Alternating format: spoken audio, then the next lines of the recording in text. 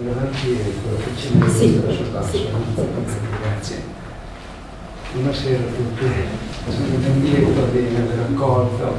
l'invito che mi è stato rivolto da Medicina Democratica per intrattenermi una mezz'oretta con voi sull'argomento che mi è stato prefissato ed è eh, il discorso relativo ai disabili gradi nel senso di vedere un attimo da vicino quali possono essere le cure da sviluppare a domicilio. Mi sono riletto mentre venivo oggi pomeriggio qui la parte motivazionale del percorso formativo che state frequentando, dove eh, si dice che eh, occorre frequentando questo percorso formativo prendere in considerazione le decisioni e le proposte eh, dell'assetto sanitario in Regione Lombardia perché dalla conoscenza poi si possono cogliere i nodi, i nodi critici, le belle intenzioni di cui anche all'interno è lastricato che eh, sono schizofreniche rispetto alla realtà e perché la realtà venga mutata soltanto attraverso il protagonismo degli utenti, il protagonismo delle persone che soffrono, il protagonismo delle ehm, persone con disabilità. Ecco. E al domicilio, al domicilio è interessante la cura e l'assistenza a domicilio perché è un'aspettativa di tutte le persone. Io stesso che mi avvicino ad un'età che non è più quella dei giovani anziani, ma è magari quella dei grandi anziani, quando penso a quelli che saranno i miei ultimi giorni o alle mie ultime settimane, alle mie ultime stagioni, l'idea di andare finire i miei giorni in una istituzione che si sostituisco totalmente alla famiglia, mi fa rabbrividire, ve lo dico. Ma questo non so se è una situazione mia viscerale o se è una situazione che porta alla riflessione man mano che si va avanti nell'età. E quindi è molto interessante vedere tutto quello che si può fare, che si deve fare perché la persona rimanga il più lungo possibile per le esigenze di cura e di assistenza al domicilio, perché è un ambiente nel quale si identifica la persona, l'identità della persona, l'identità personale, eh, è nell'ambito della socializzazione primaria.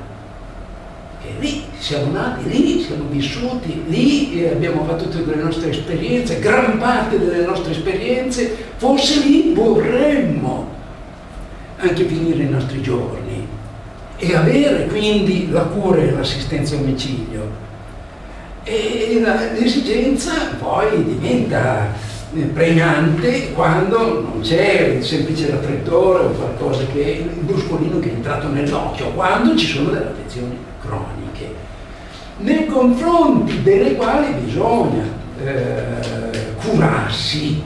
Probabilmente proprio perché sono croniche non è detto che sempre si guarisca, anzi probabilmente quasi mai si guarisce nel senso di avere la piena, la pienezza della vita che avevamo prima dell'insorgenza delle patologie croniche, però bisogna curarle. E allora, soprattutto, ecco, bisognerebbe fare in modo, bisogna fare in modo che al domicilio si faccia assistenza e cura anche quando ci sono le malattie croniche, però bisogna avere consapevolezza, coscienza de, dei limiti che il domicilio ha strutturalmente ha, eh, per rispondere anche quando siamo portatori di malattie croniche, bisogna avere coscienza dei limiti, perché può essere un luogo di cura, dobbiamo classificarlo come luogo di cura entro determinati limiti per dire il fattore variabile della gravità è una discriminante fino ad un certo punto di gravità che richiede determinate prestazioni, ebbene il domicilio è praticabile, ma quando ci sono certe forme di, eh, di patologie gravi, eh, beh, il domicilio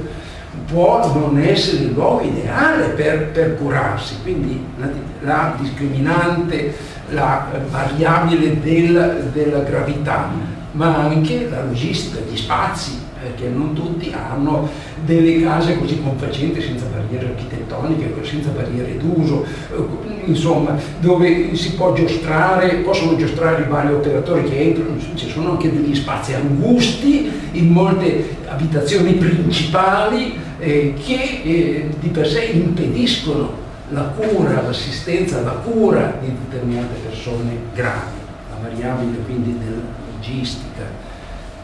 e la presenza della figlia nubile, della figlia nubile, che è vocata nella relazione con i fratelli a dedicare la propria eh, attenzione all'assistenza all del genitore, della genitrice, la figlia nubile che ha questa vocazione secondo la cultura nel rapporto e nelle dinamiche intrafamiliari. Per cui il figlio maschio, il figlio che, che vive lontano, può tranquillamente vivere, continuare a vivere lontano, c'è tanto c'è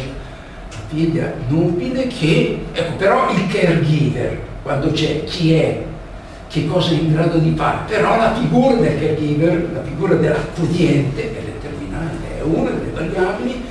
sussistendo le quali eh, si può pensare anche in condizioni di gravità di portare avanti l'assistenza e la cura al domicilio. E però dobbiamo anche dirci, dirci eh, che tutto sommato non esiste nessuna legge che dice che istituzionalmente la famiglia deve affrontare la questione dell'assistenza e della cura a domicilio. Ma chi è il preposto, la realtà preposta, preposta alla cura domiciliare, eh, la famiglia, dove sta? Chi l'ha detto mai? Ripeto, da un punto di vista giuridico formale, non esiste, non esiste, esiste la sociologia familiare, esistono gli impegni dei figli nei confronti dei genitori, così come ribalza da parte dei genitori che hanno fatto tanto perché i figli potessero essere, essere istruiti, potessero crescere, potessero avere, avere il necessario nella vita per quello che la famiglia può fare, perché è una società anteriore, ma è una società perfettibile che ha bisogno anteriore, ma che ha bisogno di un aiuto e di un sostegno senza del quale è imperfetta, imperfetta di fronte a queste problematiche. E quindi istituzionalmente chi è preposto alla cura domiciliare? È preposto il comune ed è preposto il distretto dell'ASL che è l'ambito territoriale. Eh, I comuni si ritrovano nei 98 ambiti territoriali eh, in Regione Lombardia. Il medico di medicina generale, che è il medico curante, che è il medico di libera scelta da parte degli utenti. Ma per fare cosa? Per fare cosa? Il comune che cosa dà? Ecco, quindi comincio a descrivere quello che è scritto in tutti gli atti amministrativi della regione. Il comune deve dare pasto a domicilio laddove eh, una persona non riesce più a stare dietro a queste esigenze di alimentazione e quindi deve dare anche quegli atti quotidiani eh, di vita che sono, compone le esigenze di eh, cura primaria ehm, lavarsi, vestirsi, eccetera. E quindi l'ASA che, che, interviene con determinate in, incombenze, l'ASA cura più l'aspetto infermieristico, l'aspetto fisioterapico, le cure infermieristiche, fisioterapiche, gli aspetti quindi della, dell'assistenza domiciliare sotto il profilo infermieristico e eh, il medico il medico di medicina generale perché non può aspettarsi che ad un certo punto oh, da parte di una persona con affezioni croniche tutte le volte eh, chiami, ma il medico di medicina generale ha questa possibilità, perché è previsto dal contratto dei medici di medicina generale, di realizzare la DP, l'assistenza domiciliare programmata perché va a bussare dal direttore del distretto e dice io ho un mio assistibile che ha queste affezioni croniche, dammi un compenso aggiuntivo rispetto alla quota capitaria perché io ti dico che vado una volta alla settimana senza che lui mi chiami perché ho bisogno di mantenere contatti continuativamente. Assistenza domiciliare programmata. E come si accede all'assistenza alla cura domiciliare, come si accede? A seconda che il soggetto sia in costanza di ricovero o non sia in costanza di ricovero e quando è ricoverato, quando è ricoverato la persona non deve essere selvaggiamente buttata fuori dall'ospedale. Ma c'è tutta una procedura, un protocollo previsto dagli atti amministrativi della regione, poi su questo nodo ci ritorniamo per dire che, ripeto, ci sono tante cose interessanti scritte che poi siano praticate, è tutto da dimostrare. Comunque è previsto un protocollo di dimissione non selvaggia, protetta quando si è ricoverati e, so, e si è di fronte ad un'esigenza di assistenza continuativa. Per cui mi sono ricoverato perché avevo un'affezione acuta, però questa affezione acuta si incastona all'interno di una serie di questioni di carattere, di, di, di carattere cronico, degenerativo, per cui i miei problemi uscendo non è che li ho risolti tutti, ne ho risolto una parte perché l'affezione acuta mia è stata tamponata in un quadro clinico di continuità perché incombono le malattie croniche e quindi c'è un protocollo di dimissione protetta. E quando siamo in presenza di malattie croniche e si è a casa, allora c'è una procedura per cui io vado dal mio medico curante e gli chiedo, senti, allora vediamo di, eh, di questo, compilare questo modulo, mandiamolo al distretto, eh, lo ripetiamo, vado io, tu dammi il modulo, tu sei il mio medico, e nel modulo dici che io ho un'affezione eh, che richiede assistenza domiciliare, e allora lo porto all'ufficio fragilità ADI, l'assistenza domiciliare integrata all'ASL e quindi si innesta da parte del distretto ASL la cura, la cura domiciliare. Ecco, vorrei seppur brevemente soffermarmi sulla sui, sul protocollo di dimissione protetta. Prote dimissione dall'ospedale, dall'istituto di riabilitazione, quando la persona appunto è, è affetta da patologie croniche. Guardate che all'interno degli ospedali un conto è il reparto di medicina, un altro conto è il reparto di chirurgia, perché se trovate qualcuno con peso sullo stomaco che eh, si pronuncia strafregandosene della continuità assistenziale, fuori di qui perché il posto letto deve venire, devo tagliare io, chirurgo, è chirurgo, perché in genere eh, mi si dice, e ho toccato anche con mano, che nei reparti di medicina si ha maggior grado di comprensione. No? E, ehm, e, quindi anche lì dentro ci sono quelli che sono più attenti al, al rispetto e all'attuazione del protocollo di missione protetta che non altri reparti, soprattutto quelli, di, di, quelli chirurgici, eh, che proprio della dimissione protetta non vorrebbero mai occuparsi perché a loro incombe l'ingresso di altri nuovi utenti nei confronti dei quali bisogna, bisogna intervenire ed è un intervento urgente, assolutamente eh, prioritario rispetto alla linea di continuità di colui il quale dovrà andare avanti con l'assistenza domiciliare, uscendo, lasciando libero il posto letto. E, e quindi la continuità assistenziale, soprattutto quando si ha a che fare con persone anziane non autosufficienti, possono avere, possono avere una o più di queste patologie no? che hanno a che vedere con le malattie della pelle, con la, con la, la reazione sensibile a determinate sostanze, con le malattie dell'apparato, dell'apparato osteoarticolare, con le malattie del, della, della respirazione, del sistema nervoso centrale periferico, eh, con le patologie anziane di, del visus e dell'udito, sensoriali, quindi del, del cervello, del cuore, della circolazione del sangue, dei liquidi biologici e il dismetabolismo perché il, cuore, il, il corpo è pieno di tante ghiandole, ogni tanto qualcuno di queste ghiandole non funziona nel migliore dei modi e quindi le funzioni dismetaboliche dismetaboliche e la continuità assistenziale. È, un'esigenza che non si può eludere, non si può eludere. l'ospedale può andare bene, però come, come è inteso l'ospedale dentro fuori nell'arco di pochi giorni, eccetera, per una persona che, è, che ha delle patologie croniche, risolta la questione, tamponata la questione dell'affezione acuta, poi, e poi la vita continua e deve continuare possibilmente nel migliore dei modi e di, fronte al primario o alla coordinatrice di reparto, coordinatori di reparto che dicono fuori di qui a noi non interessa, per diavolo eh, dovete fare, eh, lasciate libero il posto, bisogna opporsi, bisogna opporsi. Quindi eh, quello che non è scritto da nessuna parte nelle delibere della giunta regionale che bisogna opporsi, però lo diciamo noi qui perché se non lo diciamo qui prendendo coscienza della schizofrenia esistente tra le cose scritte e le cose praticate e non vedo dove possiamo altrimenti dirlo. Quindi non c'è scritto da nessuna parte, però lo dico,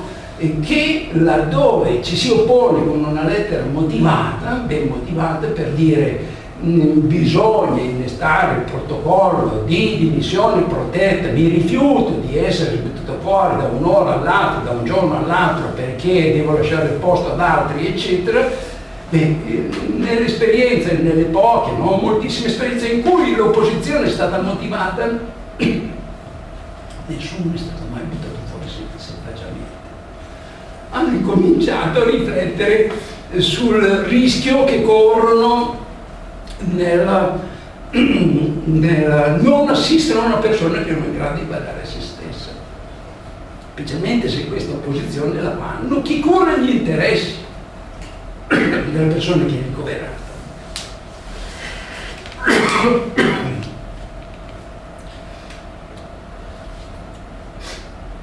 Il reparto ospedaliero quindi per attuare la dimissione protetta ha il dovere di relazionarsi con il distretto ASL, distretto ASL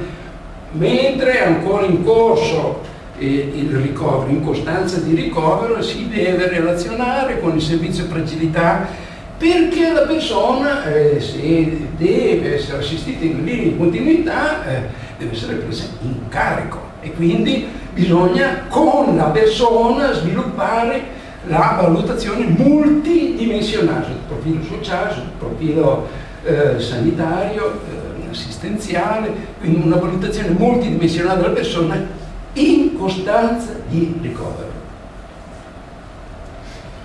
E quindi quando la persona non è ricoverata, invece dicevo, è il medico che prepara, che compila un modulo che viene consegnato a chi ne cura gli interessi e consegnato appunto al servizio fragilità del distretto ASL perché così si richiama l'attenzione dell'equipe di valutazione multidimensionale perché faccia mh, la, la valutazione della persona della persona e, e, la conclusione di questa valutazione è l'elaborazione di un progetto, un progetto di, individuale. Dal progetto individuale poi eh, può scaturire l'esigenza del pasto a domicilio, l'esigenza di un'asa che vada a casa a pulire casa, ad aiutare la persona a farsi il bagno, a, muovere un po', eccetera, quindi competenza del comune. Abbia bisogno invece può venire fuori dalla valutazione multidimensionale, progetto individuale, può venire fuori l'intervento dell'ASL, del servizio dell'ASL per le esigenze più sanitarie, quindi infermieristiche e fisioterapiche a domicilio. E come l'ASL arrivano eh, arriva il personale incardinato nel, nel distretto A. No, eh, perché là il distretto fa il PAC, fa la programmazione, l'acquisto e il controllo, il PAC. Programmazione, acquisto, controllo, per cui eh, si appare i soggetti, ha esternalizzato questo servizio e ci sono dei soggetti gestori, per lo più si tratta di, di eh, forme giuridiche non lucrative, e, e sono delle cooperative sociali che gestiscono eh, servizi socioassistenziali e sociosanitari. E però eh, qui c'è l'ideologia formigoniana che entra in funzione, nel senso che la persona eh, la persona, alla persona assistibile, viene consegnato un elenco, un elenco di 30 cooperative sociali che agiscono nel suo distretto, nel suo ambito più o meno ampliato e, e deve in omaggio al criterio della libera scelta scegliere chi più secondo lui gli aggrada. E allora, qui bisogna, la libertà di scelta è compatibile con la capacità di scelta. Se la prima o l'ultima o quella intermedia fra le 30 sono indifferentemente delle illustri realtà sconosciute, non so come possa gestire la libertà di scelta se non ha capacità di scelta. E però bisogna essere eh, in linea con questa esigenza. Non ti impongo nulla, tu scegli sulla base del tuo gradimento. Certo che io sono, per me, eh, segno, segno così. Eh, a occhi chiusi perché uno vale l'altro. Il soggetto gestore eh, dell'ADI quindi si innesta sul progetto individuale fatto dall'unità di valutazione multidimensionale del distretto AS, si innesta e realizza un vero e proprio piano di assistenza individualizzato che dura un mese per rinnovabile, due mesi a seconda della gravità della situazione, un certo periodo e poi se si ripresenta la situazione nella sua dimensione di cronicità e quindi viene reiterato, entro certi limiti può essere reiterato, reiterabile. Quindi il soggetto gestore scelto dall'utente si innesta sul progetto individuale e lo traduce operativamente nel piano. Ecco, il piano quindi deve essere approvato dall'utente, perché nulla si dice, giusto che debba essere fatto sulla testa della persona assistibile, ma deve, essere, deve recare, deve esserci la firma sottoscritta da parte della persona assistibile di chi ne cura gli interessi. Il servizio viene attuato mediante i gestori in appalto e qui siamo al SAR comune la, eh, diciamo così, la formula della libertà di scelta non la adotta, il comune forse perché è più vicino alle esigenze immediate delle persone, è il comune che non ti manda l'ASA dipendente dal comune, anche lui ha esternalizzato il servizio, però eh, ogni anno che cosa fa? Un bando e a questo bando si iscrivono determinate cooperative e chi vince il bando poi gli operatori di quelle cooperative, insomma è il soggetto ente gestore appaltato dal comune che mette in campo l'ASA o l'operatore sociosanitario per andare a fare alcuni mestieri a casa e svolgere questa funzione di accoglienza. Devo dire che questa eh, realtà del SAD per il comune dell'ADI, SAD è stato servizio di assistenza domiciliare, ADI assistenza domiciliare integrata gestita dal distretto ASL, riguarda anche le persone con vita indipendente, che sono delle persone con, portatrici di, con disabilità gravissime, che però hanno il cervello lucido. E quindi che hanno delle, come si può dire, delle disabilità di ordine eh, fisico-motorio e però eh, non sono disabili intellettivi e in relazione al fatto che sono in grado loro sì di scegliere come vivere, dove vivere, con quali supporti vivere, anche escludendo il caregiver familiare per andare a vivere autonomamente. E quindi ecco che l'assistenza alla cura domiciliare viene praticata anche nei confronti di, queste persone che giustamente pretendono e esigono di non avere il cappio al collo e di poter scegliere la modalità di vita indipendente anche escludendo il rapporto familiare. Persone con disabilità, quindi fisico-motoria, grave gravissima, in grado però di elaborare essi stessi, attuare autonomamente il proprio progetto di vita indipendente. E qui incominciano, incomincio con qualche commento di carattere più critico, propositivo, perché la prima cosa che dico, vabbè, abbiamo sentito queste cose, io stesso leggo, rilego questi atti amministrativi e se uno si lascia vaccinare da quello che è scritto, cose mirabolanti, eh, può pensare, oddio, adesso abbiamo risolto la panacea di tutti i nostri mali però la realtà eh, ci, dice alcune cose che stanno, che stanno diversamente da, da questo abbaglio, non bisogna lasciarsi sbagliare. Sono esaustivi, comincio a, prendere, eh, a, a pormi questa domanda, me la pongo questa domanda. Queste, queste cure, questa assistenza al domicilio esaustiva. Intanto vediamo qual è stato l'andamento. E eh, questa fonte che cito, che qui non si legge molto perché siamo nel, nel tratto non bianco, questa fonte che ha preso in considerazione l'attività della Lombardia, della, dell'ADI, qui lasciamo stare per un momento il SAD, però l'ADI, quello che fa eh, la, la, regione attraverso le ASL, attraverso gli ambiti territoriali, quindi attraverso i distretti, non, non, non brilla secondo una logica incrementale, ma qui c'è un decremento. Quindi gli anziani over 65 anni, con più di 65 anni, nel, assistiti eh, in assistenza domiciliare integrata nel 2010 era del 4,27 che poi è passato a 4,14 nel 2012 3,97 poi è vero e li vedremo un attimo ancora ci dite ancora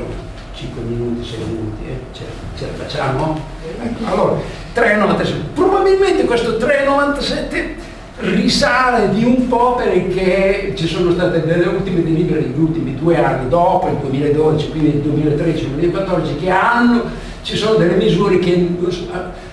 che hanno portato ad un lieve incremento dell'attività, però c'è una tendenza in questi anni in decremento dell'attività di assistenza domiciliare. Poi c'è quest'altro aspetto quantistico che è determinante se è vero che le persone con disabilità, con disabilità grave gravissima, eh, che, che, che sono presenti nello scenario da assistere, perché sono gravi, gravissime, inferiori a 65 anni sono 37.000, quasi 38.000. Se è vero che quelli che hanno più di 65 anni sono 380.000, poi andiamo a vedere quello che dice la Regione, lo dice in, queste, in questa delibera, la 116, avete presente là, no? erano 37.000, eh, 28.000, altri 9.000 sono fuori da questo circuito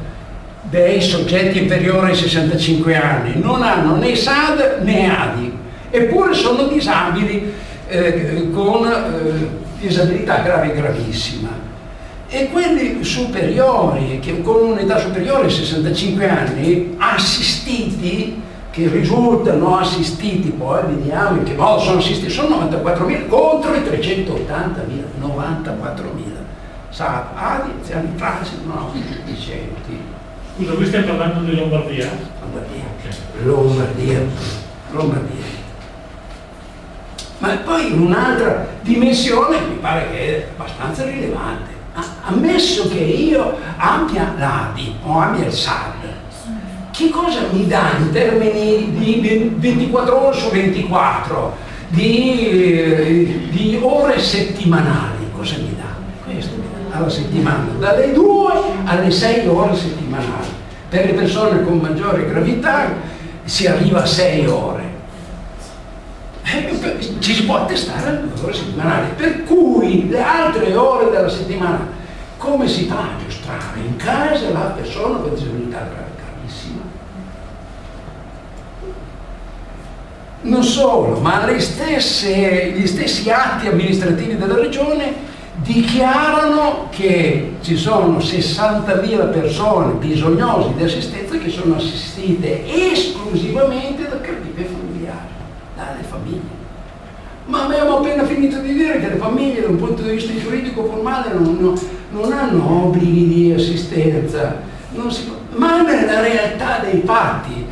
se non interviene l'istituzione non si può lasciare morire una persona senza assistenza in casa. E allora la figlia 60 ma anche quella sposata quando non c'è ancora nulla ma anche la sorella tutte le altre donne. o le mamme dei ma anche se c'è di figli. Anche le mamme. solo la parte femminile della famiglia per cui, per cui la cura al domicilio viene completata e laddove non, arriva, non arrivano i familiari arrivano le cosiddette badanti, l'assistente familiare, no? Non è gratis amore dei, ma insomma costa. No? E quante sono le badanti in Regione Lombardia? Sempre questa delibera della giunta, della giunta regionale 116 che qui non si legge, dice che le badanti si fanno una stima, perché ci sono quelle in nero, ci sono quelle a libere, sono sempre di più quelle in nero, po' meno quelle a libere, insomma, si stima che siano 126.000 che direi è significativo poi dell'esborso, del pagamento, del costo dell'assistenza privata. E quanto costa? Guardate, qui ho scritto queste cifre trascurate perché sto sparando dei numeri che probabilmente sono approssimati per difetto, non per eccesso, perché sono queste cifre a seconda delle ore giornaliere, 1300, 2700 o anche di più, dipende dalla gravità, delle esigenze, ma sono delle sperle, sono assistenza privata di cura. Ecco, le funzioni vitali, la badante è in grado, alcune funzioni vitali sì che sono respirazione, cioè respirare, la nutrizione, che tipo di nutrizione? Non è alimentazione, nutrizione, adequazione, edizione, e laddove sono in grado anche le funzioni primarie come mobilizzazione, alzarsi, vestirsi, lavarsi, alimentarsi, però non possono improvvisare nulla ma devono essere istruite, ci vuole la guida dell'infermiere perché faccia determinate cose, il fisioterapista, eccetera, eccetera. Comunque, comunque si rendono utili, al di là della presenza fisica, con eh, queste forme di sostegno che sono particolarmente onerose. Ed essendo così particolarmente onerose è nato un processo ormai di impoverimento delle famiglie che è solo parzialmente attenuato e qui concludiamo sulle misure perché eh, probabilmente anche la Regione si è accorta che questo processo è in atto e naturalmente sta cercando di estendere l'assistenza domiciliare integrata e il saldo con, con la monetizzazione della cura e dell'assistenza domiciliare, dando qualche soldino in più. E quindi le ultime delibere, qui io le cito la, 26, la 28, 50, 28 26, 2655 del 2014, quindi che eh, prevede una misura che è quella per i disabili gravissimi, per persone anziane fino a 69 anni di età. L'anno precedente era 65, ora ne hanno portate 69, con disabilità gravissima,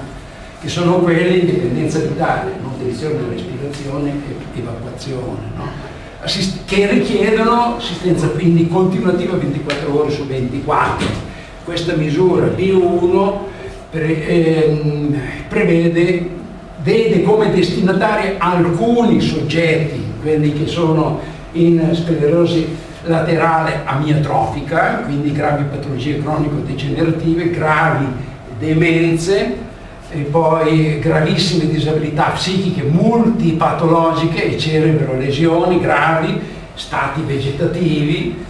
Ecco, quando ricorrono queste patologie, bene, c'è un buono mensile che non prende in considerazione la condizione economica della persona e viene dato un buono mensile di 1000 eh, euro eh, alla famiglia.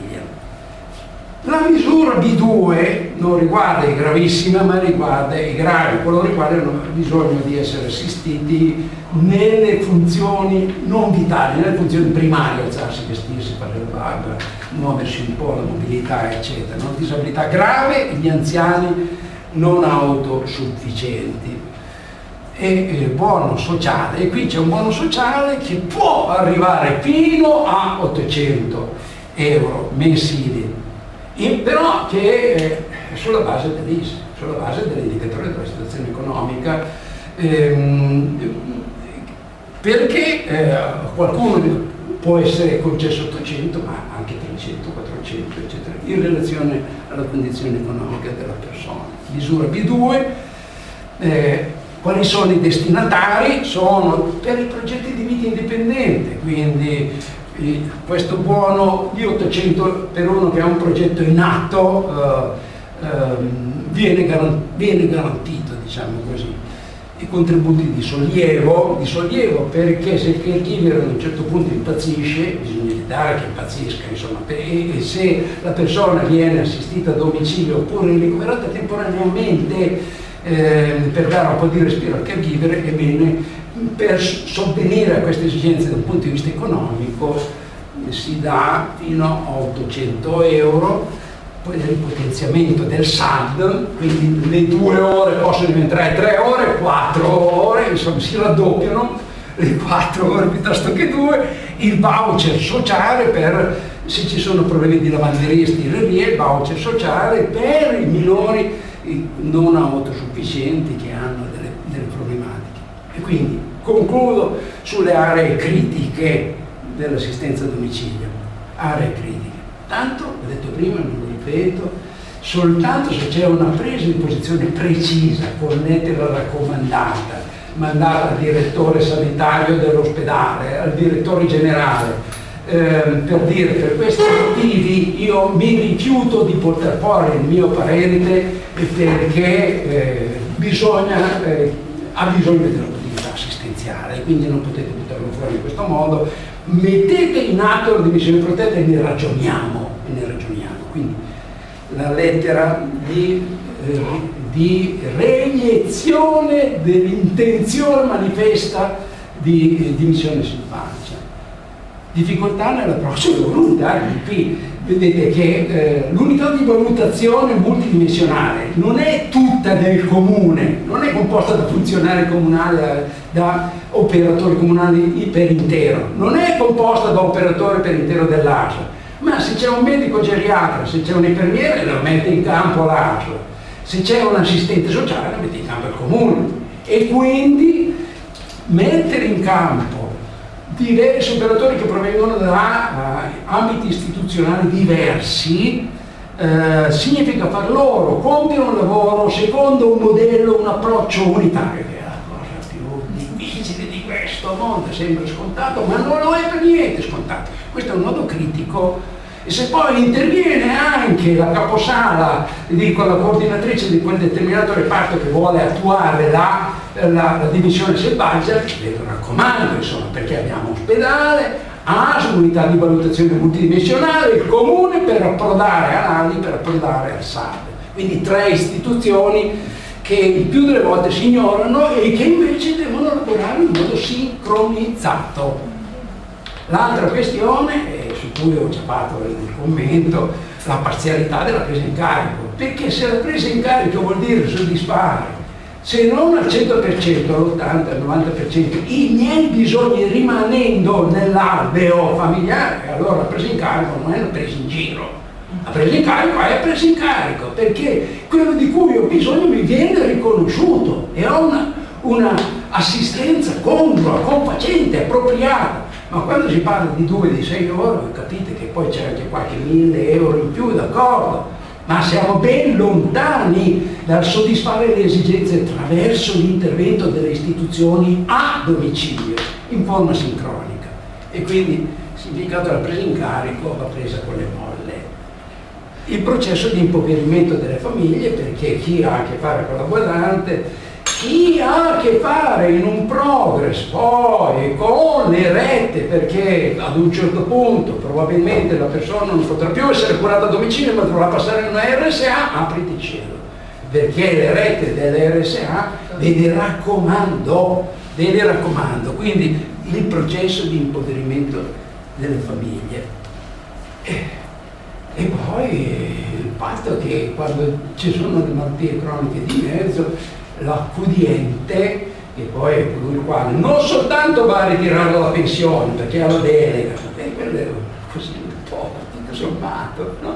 però bisogna andare in tribunale, eh? bisogna parlare con il, il giudice tutelare, devo presentare istanza per essere nominato amministratore di sostegno, devo eh, poi mandare la persona in RSA perché non ce la faccio più a tenerlo a casa e quindi devo andare a fare, fare l'ISE, ma se l'ISE poi eh, è fatta in un certo modo e vado a, a, chiamare in causa anche la componente aggiuntiva, ne ha parlato Franco, Franco Treveschi la volta scorsa, penso che abbiamo parlato di queste cose, anche questa faccenda dell'ISE. E se poi vado in comune che mi trattano con il pesce in pancia quasi poi fossi un povero per cui chiedo un contributo, mentre vado a chiedere l'integrazione della retta che è prevista dalla legge per coloro i quali non sono in grado di pagare interamente la retta. È l'assistente sociale che è più realista del re. E quindi basta così.